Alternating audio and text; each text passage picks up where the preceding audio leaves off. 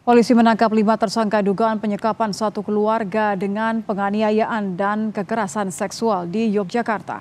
Selain menyekap satu keluarga, para tersangka juga melakukan perampasan, penganiayaan hingga kekerasan seksual.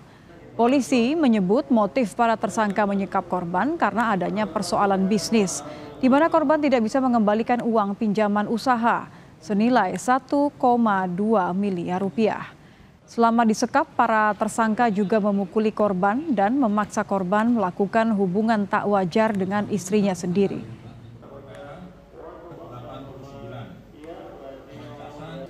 Sejak bulan Agustus tahun 2023, ini korban sudah tidak memberikan keuntungan kepada uh, pelaku.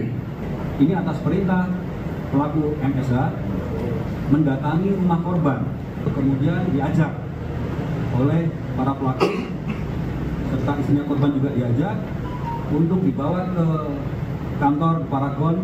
Ya, sesampainya di Paragon, uh, korban dan istri disekap